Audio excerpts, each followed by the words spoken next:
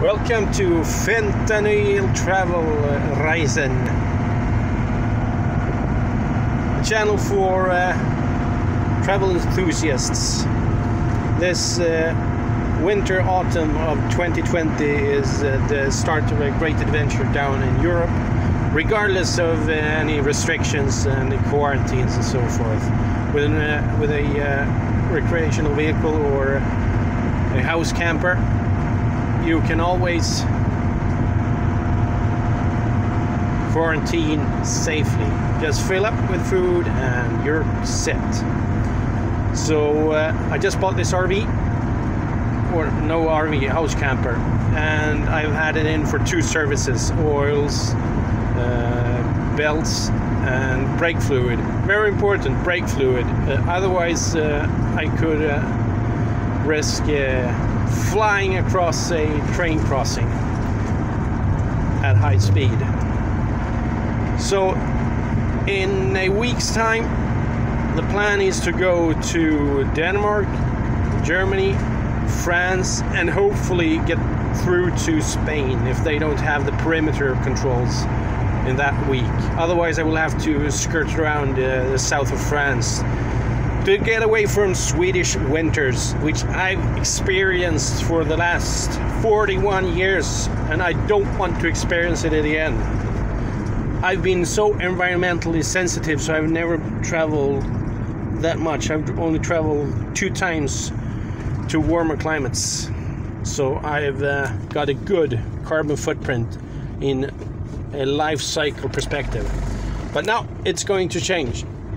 It's going to camp around in a Fendt Fiat Ducato from 1997 with all the amenities I need. I've renovated the uh,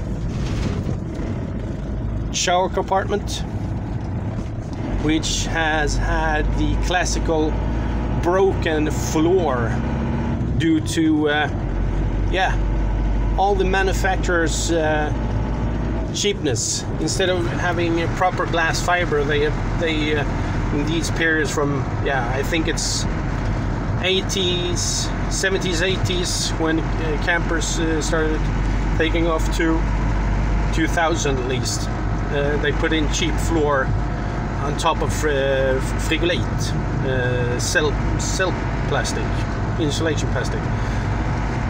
You always uh, have cracks which has to be filled in or replaced. So now I took uh, epoxy and uh, smoothed it out and let's see if it uh, will uh, survive the winter travels. Uh, on the list to do is a solar heater, solar water heater, so I can shower for cheap without having to go into towns and so forth.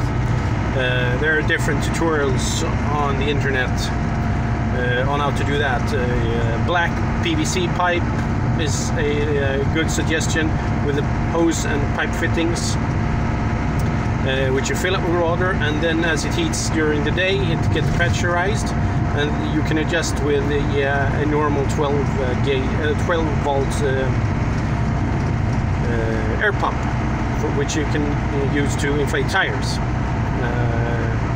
or you can just take a bucket, uh, a black bucket, fill it with water, and uh, put a lid on it, and then use gravity to shower in it. This camper house camper has the railing on it, so I'm going to fit some sort of.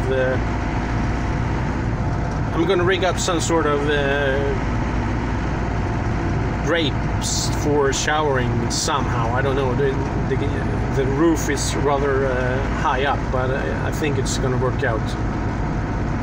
Uh, and then I'm going to adjust the uh, solar cell system because the previous owner has installed solar cells but has not installed a regulator so it goes straight to the battery which kills it uh, in the middle of summer so I'm amazed it's uh, held up so far. Or it perhaps hasn't, so he has had to change the battery because it's gone dead from overcharging. So that's the plans for this channel. I'm gonna do some videos of uh, my travels. Uh, the plan is to drive across Europe, uh, check out the uh, different uh, parkings and so forth that are uh, marked on uh, a Swedish site, Husbilsklubbens uh, forum. They're, they have a map for uh, where the members have put uh, different uh, resting areas and refilling areas and emptying areas for campers. Uh, mostly Germany, France, uh, Western Europe, let's say, old Western Europe.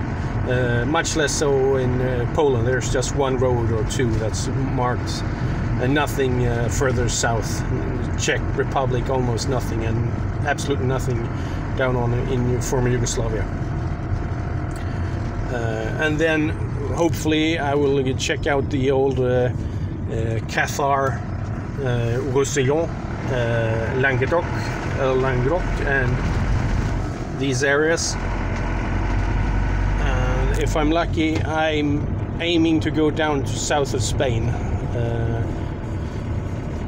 and depending on the climate, I I hopefully can get over the Pyrenees before it gets snowy there. Uh, because I don't have winter tires and I don't have uh, chains. Uh,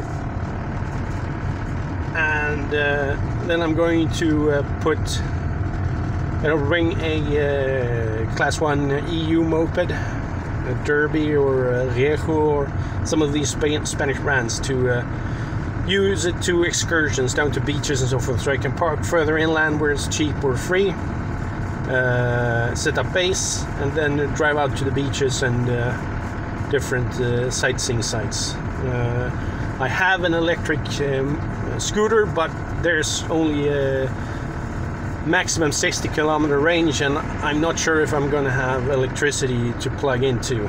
So it's better to buy a uh, gasoline um, sco- any uh, scooter or cross moped where I have at least 200 kilometers in tank. Uh, they're really cheap on uh, gas. But now I'm uh, back home to park and prepare for the travels, and I will uh, post new videos later. Bye.